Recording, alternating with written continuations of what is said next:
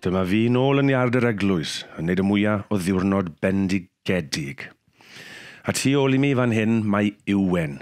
Felly, hi'n wneud y ffilmiau bychan yma i gyd-fynd gyda'm llyfr newi o'r enw The Tree Forager. Nid yw'r llyfr ond am goed a chwilota, mae hefyd am straeon a cherddoriaeth ac mae'r aseitiau ynddo hefyd.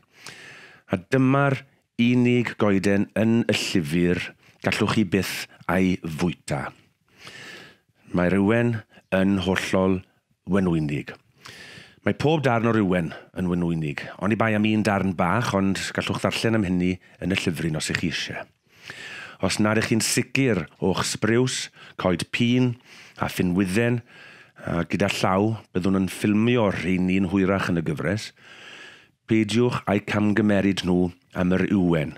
Os nad ych chi'n holl o'r sicr o beth yw nhw, Pirwch ei bita nhw, rhag ofyn i chi bigo iwen mewn damwen. Beth wen i eisiau trafod am y goeden ma, yw pam i chi'n gweld nhw mor aml mewn iardau eglwysi. Os newch chi ystyried byw mewn pentre bychain, fel yr ydw i, ond yn byw mewn pentre bychan rhyw fil o flynyddoedd yn ôl.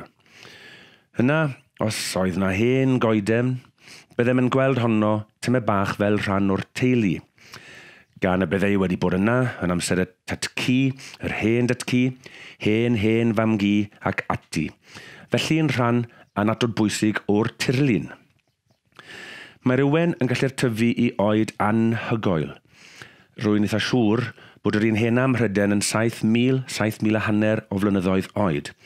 Er mae'n anodd rhoi oed pendant ar iwen oherwydd y ffordd maen nhw'n tyfu dyn nhw ddim yn gwneud yr hyn y byddech yn disgwyl o hyd. Maen nhw o hyd yn troi a throi pob math o bethau rhyfedd. Felly mae'n anodd edrych ar y DNA i weld yr oed cywir. Mewn cyfeiriad arall, dwi'n cael yn atgoffa o stori am yn ffrind Theo. Oedd yn y dyddiau cynnar o berthynas gyda merch, a wyn nhw mewn siop henebion lle wedd e'n edrych ar hen ddesg o bren gloiw coch o bren ywen ac yn ei fwythau gan ddweud rwy'n dy garu di. A'r ferch wedi camddeall yn ymateb, rwy'n dy garu di hefyd. Ac efe wedyn yn cyfaddau, mae cyfeirio at y ddesg yr oedd. Ac felly, ath y penwthnos bach yn sir. Beth bynnag am hynna, felly os byddai coeden fel hyn gennych yn eich ardal, a thipyn o enw a pharch iddi, a phawb yn ei nabod, byddai'n beth pwysig.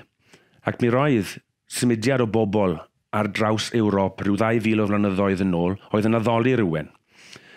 A phan gychwynodd y Cresnogion cynnar adeiladu i glwysi, mewn effaith wnaethon nhw rhoi nhw wrth ymyl lle roedd ywen yn tyfu, mewn ffordd yn cymeryd mantes o lle roedd pobl yn tynnu at beth bynnag. A dyna pam i ni'n gweld coed yw mewn iardiau eglwysi. Mae llawer mwy i weid amdanynt, ond bydd rhaid i chi ddarllen y llyfr i ddarganfod hynna.